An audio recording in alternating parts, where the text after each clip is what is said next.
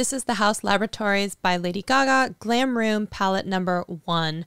So this is 10 eyeshadows. There's a mix of shimmers as well as mattes in here. I'm going to go ahead and swatch all of them for you in the order in the pan from right to left, top to bottom.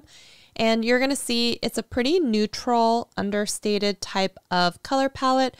So if you're looking for something wild and crazy, this is probably not that palette, but if you are looking for something that's a bit more buildable and a bit more neutral, then you might really enjoy this palette.